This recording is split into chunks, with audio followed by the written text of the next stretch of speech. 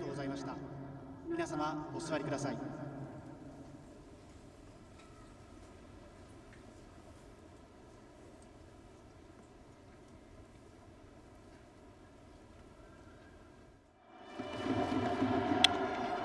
アウトコースのボール。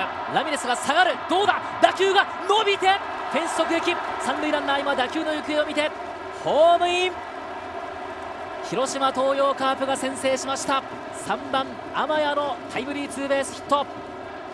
今日は先手を取りました広島東洋カープ。叩きつけた打球はライトの前手を叩きながら松本がホームイン。ジャイアンツ小笠原のタイムリーヒットで同点に追いつきました。続投という判断をするのか。そうですね阿部の打球はどうだ？レフトへ飛んでいる。レフトへ上がった。天国へ届け。届いた届いた。阿部慎之助勝ち越しのホームラン。木村拓哉コーチ追悼試合でキャプテンが木村コーチに捧げる一発を放ちました。2対1ジャイアンツ勝ち越し。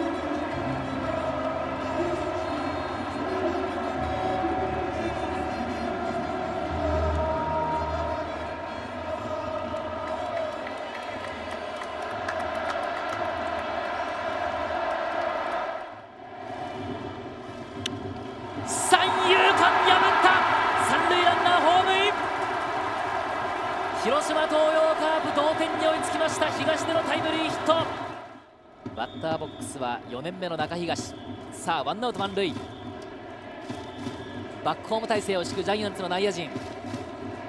坂本と脇谷若干先ほどよりもポジションを下げました。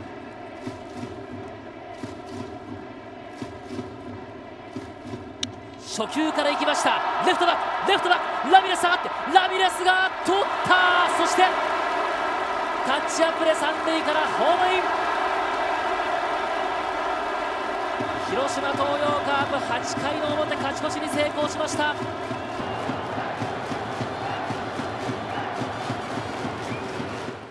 木村拓哉さんとは同級生です。巨人に移籍してきた時拓が声をかけてくれて2人でやってこられた。常に明るくリーダーシップを取れる男。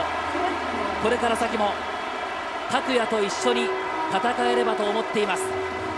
そう話した谷義友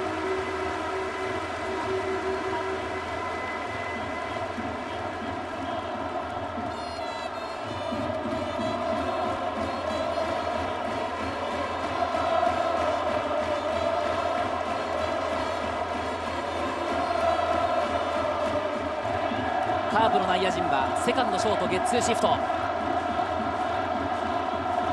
外野はぐっと前に出てきています。逆転のランナーがセカンドベース上の古木。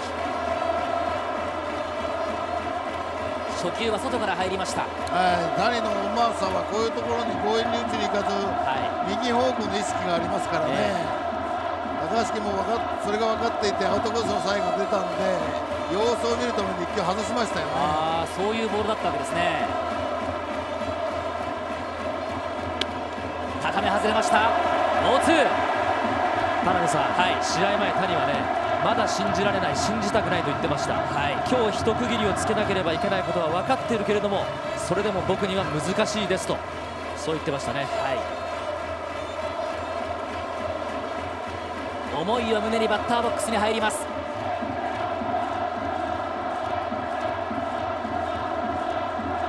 右方向へ。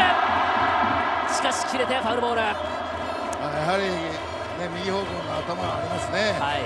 強引に打ちに行って詰まって内野ゴロが一番怖いわけですからね、ええ。それだけは絶対にするまいという、はい、あえてそれが分かっていて、まあ、高橋健もアウトコースから入りましたからね、はい。甘いボールが投げられないという気持ちで投げてますね。はい、ん？サインに首を振った。ボール先行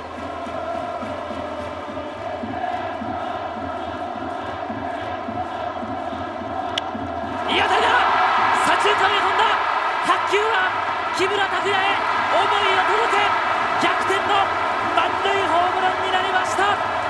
同級生の谷義智が木村拓哉に捧げる逆転の満塁ホームラン。思いは届きました。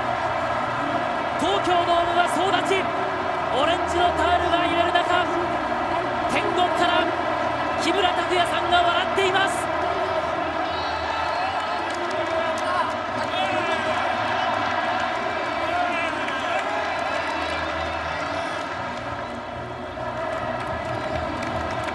記念すべき思いを込めたホームランはプロ入り初の満塁ホームラン。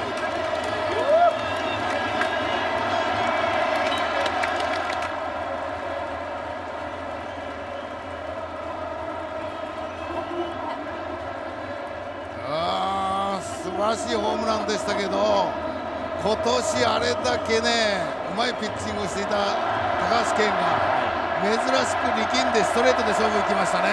首を振ってストレートでした。はい木村拓哉コーチのために勝つんだという思いがぶつかり合ってますもんね、はい、いいスイングの打球はライトへ上がった。ライトへ上がってこの打球が吸い込まれた。いい戦力も続きました。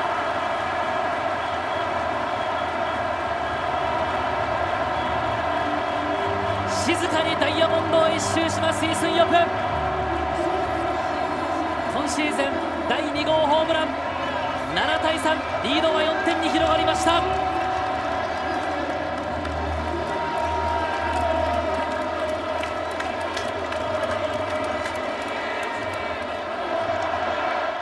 1万6000本余りの献花をいただきましたが今日1日で1万本を超えました。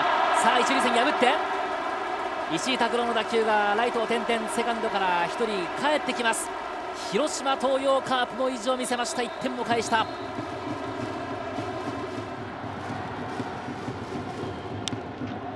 セカンドゴロ。ジャイアンツ。木村拓哉コーチに捧げる白星。追悼試合で8回。谷の逆転満塁ホームランが飛び出して7対4ジャイアンツが木村拓哉コーチ追悼試合で勝利を収めました。どんな思いでこの試合に臨まれたんですか？も